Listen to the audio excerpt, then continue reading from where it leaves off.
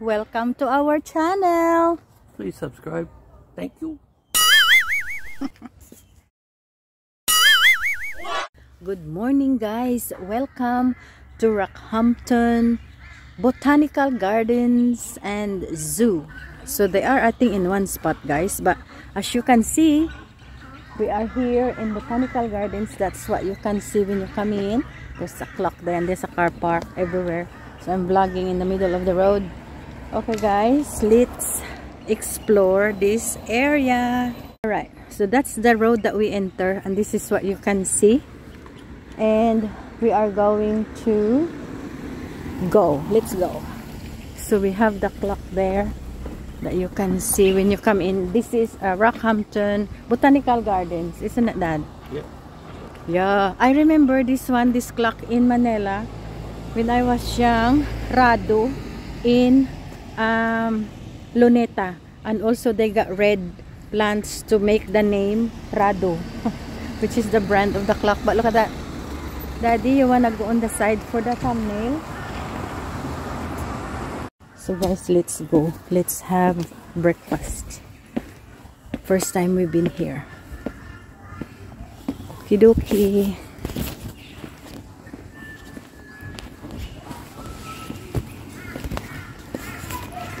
Okay. Okay guys, welcome to the Botanical Gardens. Okay. So, um, because this is just such a massive place guys, we are trying to find our way around. So hopefully we can uh, capture the whole the whole area but I think it's, it's impossible it's just too big so what we're gonna do is we just get the nice uh, sort of places that you wanted to see that hopefully we don't have in Philippines but because this is a tropical area we bound to have all the plants that they have here over there. So that's where we park. And this is the all the way it's like alleyway. This is now in the botanical gardens and that's what you can see over there. And on that side we got like a river so we're gonna explore that again later over there. And on this side here guys uh, so many. So let's go. Daling ko kayo muna dito. Um, sige para makita nyo na lang yung background while I'm talking. So it has like a memorial uh, thing. Oh, Anzac. Okay, so this is like their Anzac um, memorial thingy. It's got a name, Anzac. So we'll take a photo for people to see in our Facebook. Ayan. And then, here. Ayan, ganda siya guys. Anzac. Tapos, doon si daddy, iniwan ko siya sa building na yan. Naghihintay kami ng ano namin, breakfast. Ngayon, ang in-order ko, eggs benedict. Yung kay daddy naman, bacon breakfast. So, yun. Hindi namin alam guys kung saan ang uunahin. So, ikot-ikot kami. Napakalaking area ito. And we also wanted to go to the zoo. So, this is a separate video than the zoo. Oh my goodness. Okay. Okay guys, balik muna tayo kay daddy. Ayun. Ano ba? Okay. So, bumili kami ng mga jewelries. Ito yung sinuot ko. Para kung red ito ang pink, naging ano, Philippine color flag. Philippine flag color. red, white, and blue. Kulang na lang yellow. Pero anyway, suot natin yung mga alahas na binili natin. Ayan. Pang ano lang guys, pang labas-labas. Pang ordinary wear everyday wear. So maganda kasi to, hindi daw siya natatarnish. Tapos um, maganda yung ano quality. So kaya napabili tayo din. Binilhan yung family and that's okay. Bilin.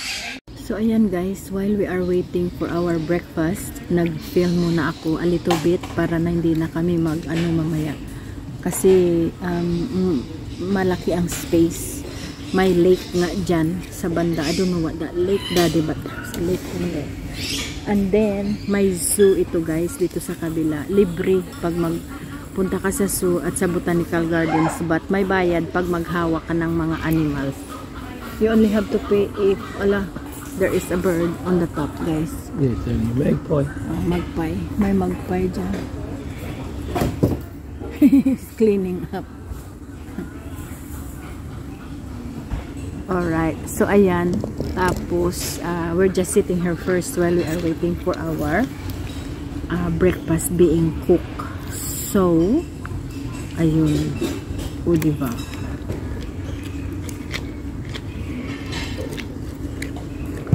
Um, sige. And then later, pag nag-ano ako ng zoo, it's gonna be another video. So, it's not too long. Um, or you're gonna watch it for a long, long time. Got this one and make another one for the zoo. Yeah. Sahin ko sa inyo.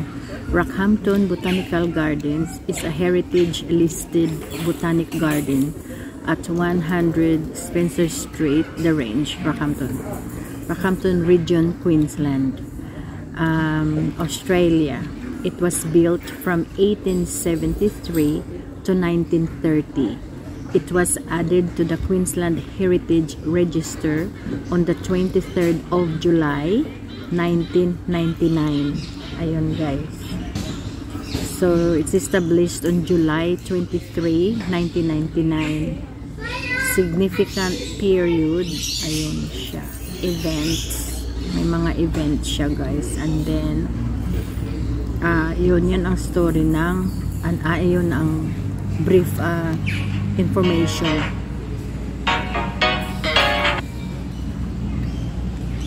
Hello, gang. Good morning. I, that's okay. You're working today? Oh, you're on your way home. Okay, sige. You sleep first and then we can organize a call for you so the kids can join in. Uh, but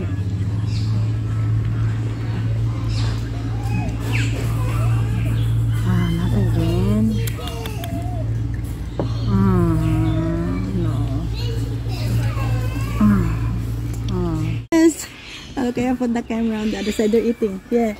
You know the Rosella? That? Oh my god, they're eating my food. Two of them eat there. I got them in the video. my god. Oh my gosh. And then there's a zoo beside it which is free. Except if you So guys, let's so guys, let's eat. Daddy just put a feeding food for the birds because they try to pick my food. So this is our breakfast. I have the eggs Benedict which is my favorite. Daddy got the bacon breakfast.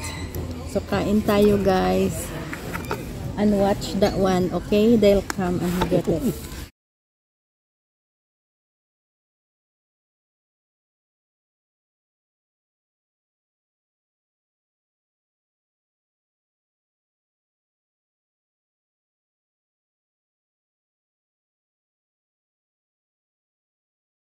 Guys, look what that bird did to my to my eggs. Look, he stepped on it. Look. It in the. Yeah. Bird. Step on my food. Friendly shits. Yeah. One day. On the table, look. No, that's a different one. A different one. It's just looking at the food. Waiting up. When can you give me? Here in the Gold Coast, they got the little squirters. Hmm. Oh yeah, for the big one.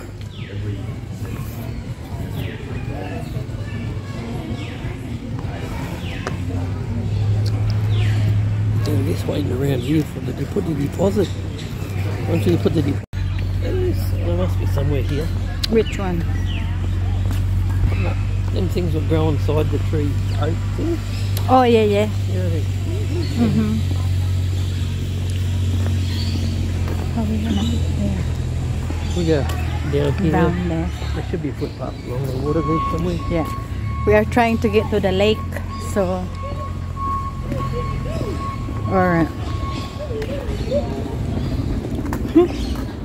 we are just walking nicely. Like namamasyal kami guys na very calm and collected. Newlyweds.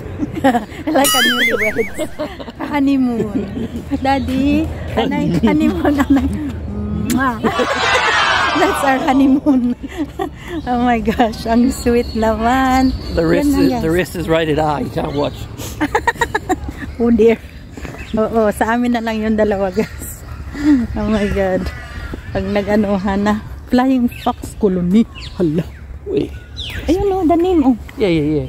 I'm looking for but I don't know. must be here. Must be there. Oh my God. Dark. Ah, yeah, yeah. That's why. Ikaw da ya. Hindi ko da ya. I'm scared. Oh, people down there, baba.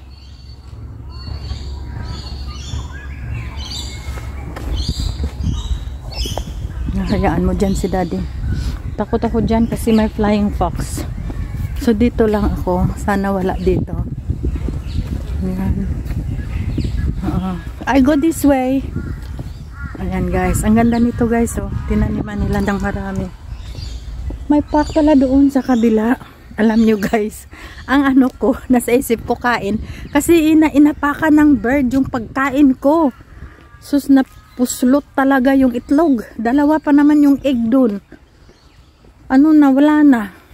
Naapakan talaga ng ano, parot yung ano ko pagkain ko, hindi ko na makain kasi kung saan saan na yun sila naglaland dito na area sa ano, sa suso. Baka may bakterya. Sabi ni daddy, wag mong kainin yan. Tinapon ko na guys. Ang dami pa. Eh, gutom pa ako. Alam mo naman, eat girl. Ayun. So, kain na naman mamaya. Doon na lang sa shopping center. Little Red. Oh my God. This one is a red flying fox.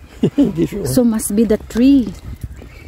Dito naman guys, little red flying fox. Doon naman sa kabila is flying fox naman na ano, na malalaki. Diyos ko Lord. I can hear him. Where? Is that the one? Squeaking, squeaking? I think so. Oh, wow, wow. Sige, hanapin natin. Guys, oh. Currently has young flying foxes roosting that are unable to fly. Little red flying foxes are nomadic and will move on once the young are able to sustain flight. Ah, okay. Once na lumaki na sila, hayaan na sila. Yan pala. Hmm. Yeah, ayun guys, yung may lake. Yeah.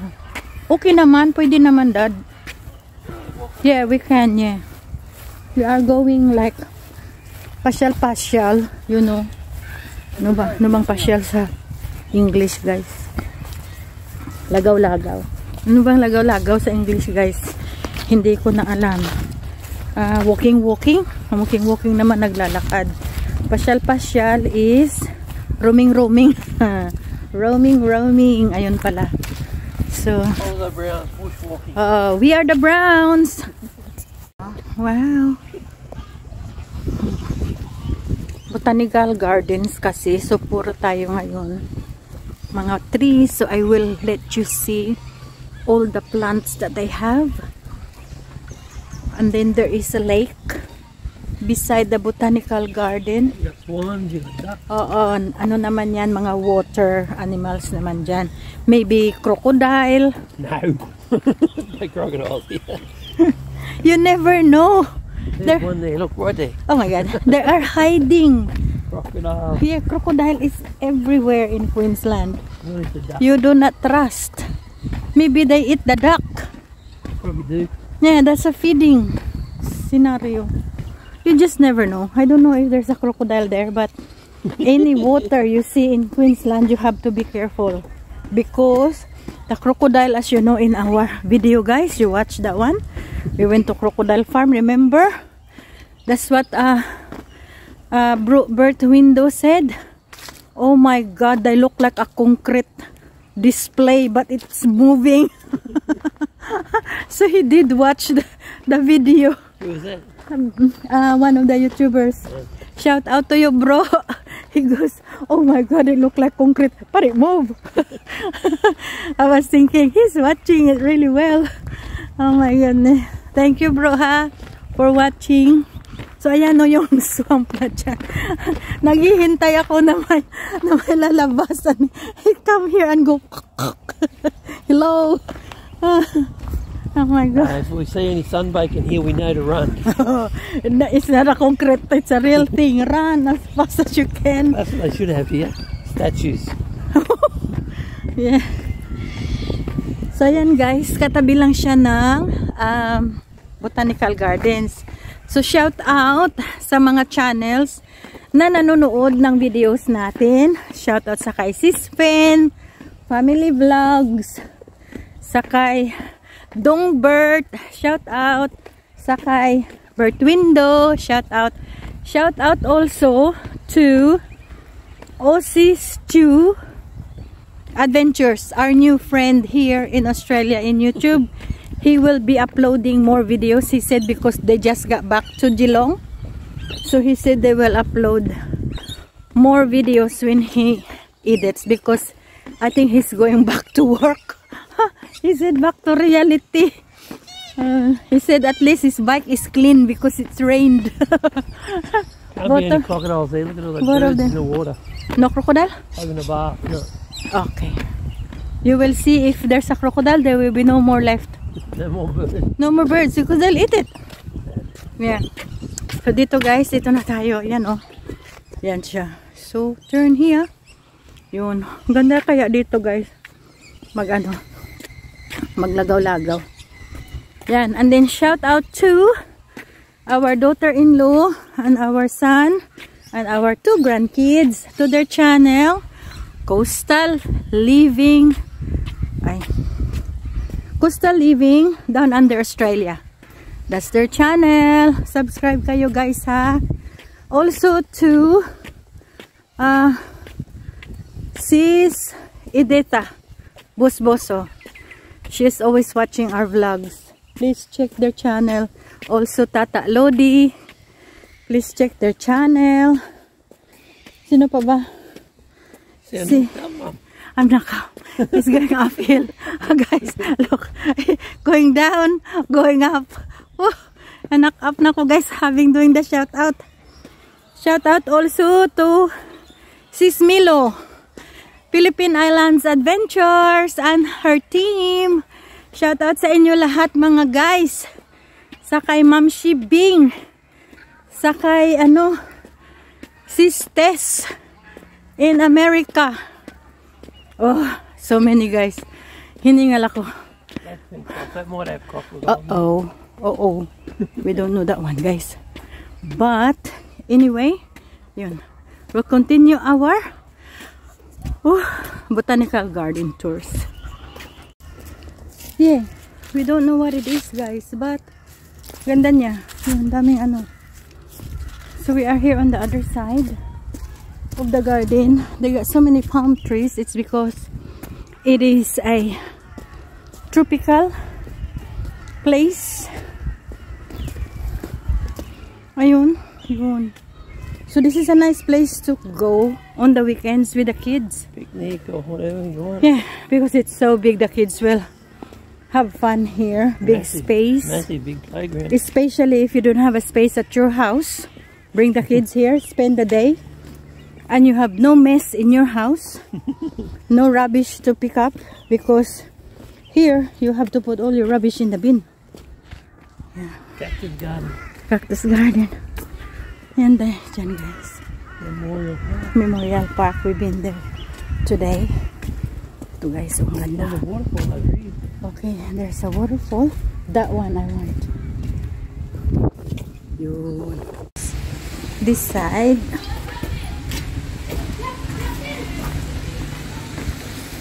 Still heaps to do at this side. Yeah, so this is the end of the corner. Uh, Japanese gardens currently under maintenance. Okay, so this is the Japanese garden area.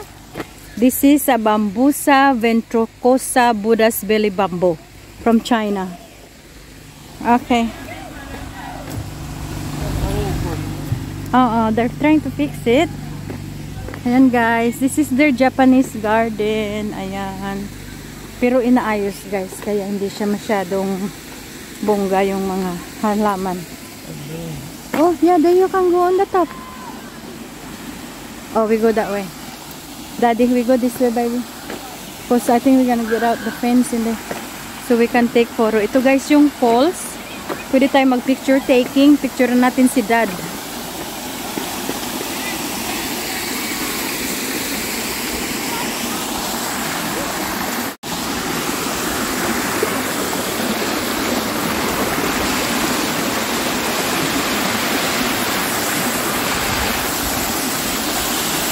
Ayan. Diba? Ang Ganda. And then it goes down there. Ayan.